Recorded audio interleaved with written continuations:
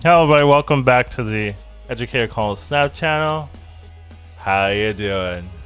So today we have a pretty quick one for you guys. The second dinner released their update, I guess patch update. Usually these have a lot more information for the future, so should be good, but let's go through the changes and see if there are any Loki nerfs, which is what I'm looking for.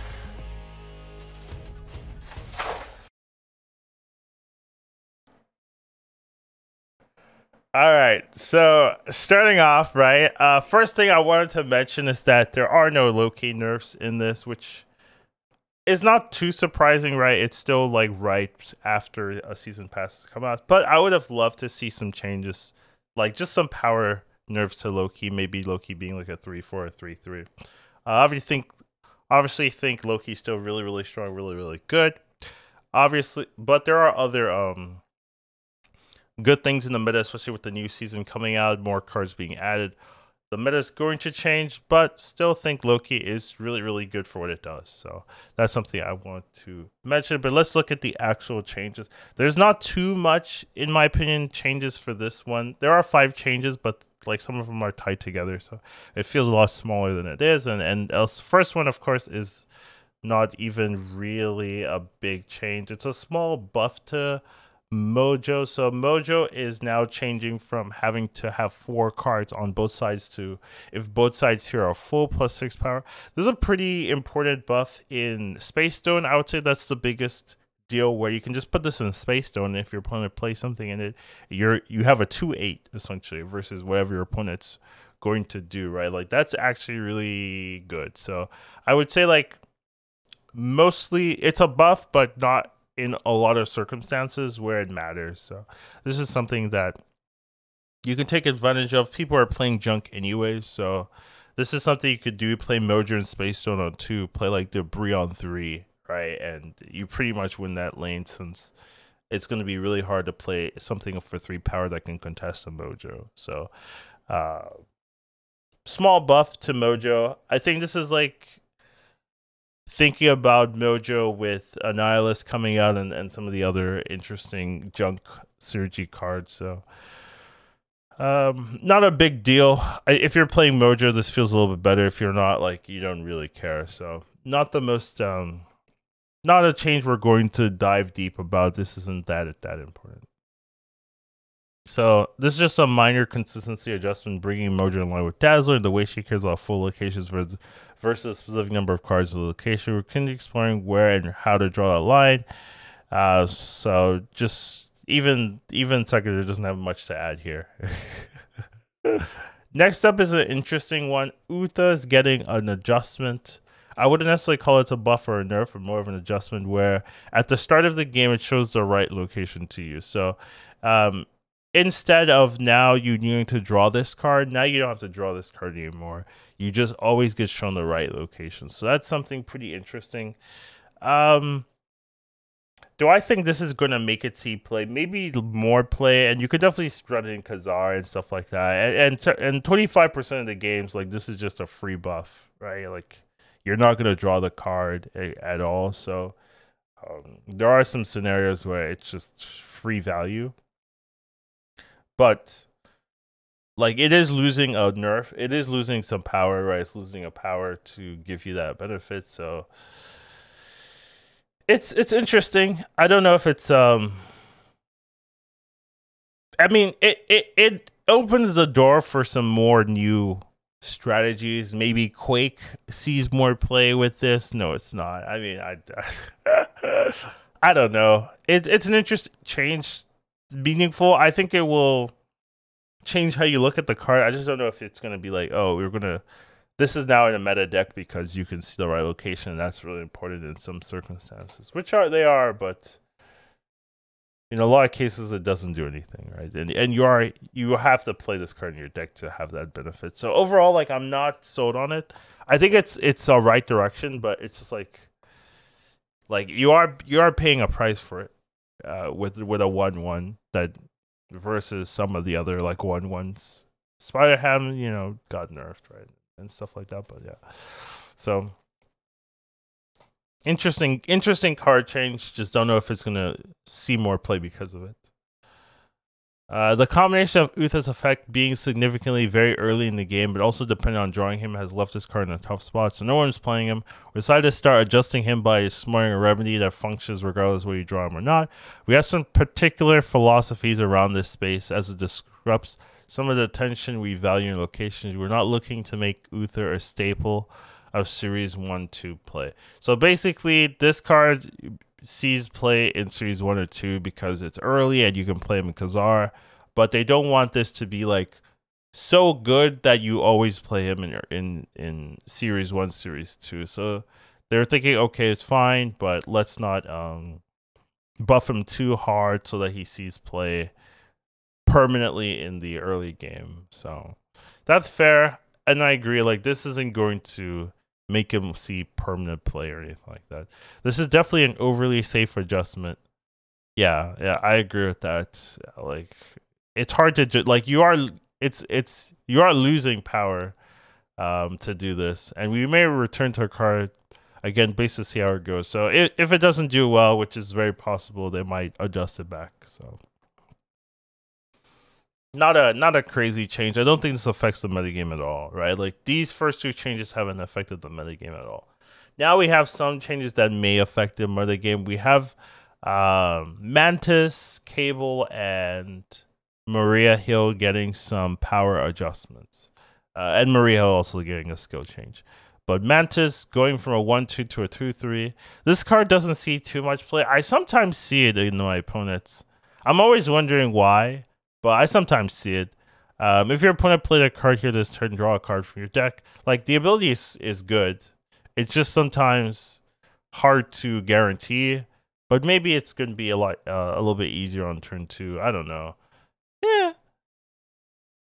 it's it's it's a good ability. It's just sometimes you know it's hard to guarantee the ability to go off, right? But a two three is a good stat line. So at least even if you you whiff, it's not the end of the world. So I can see this seeing more play now, actually, with the change. I can actually see it see, see more play.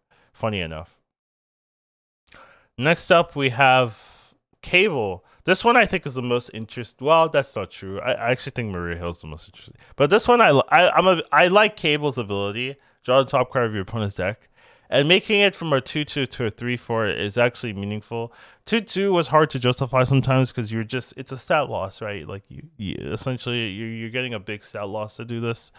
Um here now you know a 3-4 isn't as much of a stat loss and and drawing from your opponent's deck is a big is like very important because if you draw like a key piece like that can really give you confidence to snap, give you confidence to like go through the rest of the game. The only downside here is it is arguably better to know your like your opponent's card earlier since um that can really like early on that can really flip the game and and how confident you are. So you do get the information later, but it's probably fairer to get it later than than earlier. So and the the stat is cool obviously people are thinking about Surfer with this, and I think that's fair. Surfer is now cable ready, so or cable is now Surfer ready, so that's always something to think about. But overall, like this one is is a very interesting one to me in terms of like I might try this in different decks and see how it just feels as a like a as a generic card to add. Uh, so yeah, th- this one, this one, I'm I'm the most personally excited about, but I could see um, why Maria Hill might be more exciting. So for Mir- for Maria Hill, uh, you are losing the ability to get a one drop, but you're always getting a two drop, and now it's a one drop itself. So essentially, this is now the new like it's not replacing Snowguard in essence, right? Because Snowguard, what you would do, you just play Snowguard on one, and then the two three or, or, or something on two, but they they um they nerf Snowguard, so now Maria Hill's kind of getting that same treatment. The downside of this is it's a random two cost card, so you don't have the consistency anymore. But you do get a one drop and a two drop with this card, and that was just a really powerful effect to have uh, with Snowguard. So I could definitely see this seeing more play, um, like maybe over Agent 13 in that, hey, you play this and now you have a two cost card to play on your next turn. It's a little bit safer and things like that. So I could definitely see Maria Hill being played in significantly more decks. So this this one I think might actually see a lot more play um, with the changes compared to the old one. Because the old one, like Mirage was better than Maria Hill, Sentinel was better than Maria Hill. There was just a lot of like good twos. Kaba was better in my opinion than Maria Hill. So there was like no reason like there was too many cards that you'd rather play over Maria Hill. So it just did like it, it fit like a weird spot where there was already like ten cards that did the same job or better, especially with Snowguard coming in as well. Like, why would you ever, ever pick this card? So now I think it has more of a, a play niche where it's like, oh, do you want a one drop that gives you a two? Here you go. So I'm fine with this one. Cable the one the most interesting to me, but let's see what they have to say about these changes. So these adjustments are all related. We'll go over them as a group. These three cards, along with Agent 13, Sentinel, Snowguard, Mirage, right? There's more Make up a, a cadre of characters that all add a card to your hand for a cheap cost under different circumstances. You know, like yeah, I mean, there's Agent Coulson, right? Like there's even more if you, since we added a three cost card, like there's even more. However, they all they are also all overlapping one another a fair bit, existing in a tight range of cost and power combinations. True. We'd like to break that up a little bit to build in some differentiation as to how they're used and where they might be played. It's unlikely this is the last tweak to this group we'll make, but it should get the ball rolling and let us see more clearly how the live game values what each card is uniquely capable of bringing. So they probably tested some of these changes in their like their playtest group, but they don't know exactly how it's going to transfer to the live game. So very fair. The I mean, this is all fine and dandy. Where's my Loki nerf, right? Like that's my takeaway. Alioth as well. I could see Alioth. Um, honestly, I'm I'm fine with Alioth the way it is. Mostly, like mostly, like obviously, if you lose to Alioth, it's pretty frustrating because there's like no counterplay to it. In the right scenarios, there's no there's you auto win, right? So that's like the one issue I have with the card, but. Uh, what it does to meta, I'm kind of okay with in in in essence like maybe you'll need some adjustments but for now like i'm, I'm generally fine with it uh, but Loki, Loki, I think could use some power nerfs on the card itself. Like it's a three five, it's so good. Like three five means like you have a drawback, right? Like, like quote unquote a drawback to your ability, but there's no drawback. You get a huge benefit.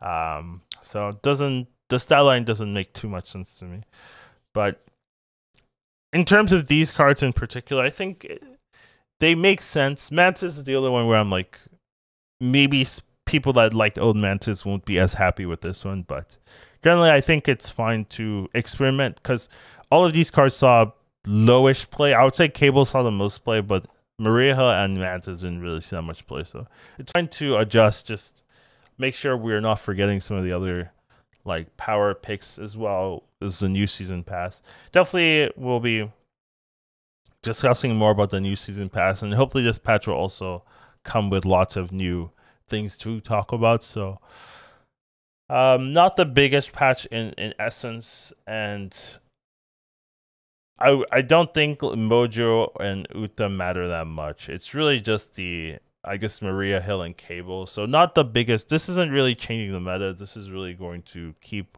whatever the old meta is still the same. What are your thoughts on these changes? These are pretty small, pretty insignificant, but we've had a decent amount of like bigger changes uh, in my opinion. So let me know in the comments below and I'll see you guys in the next one. Take care. Educated Colin Snap. Once you watch him, you won't go back. He'll teach you to marvel, Snap. Your skills will be improving. How you do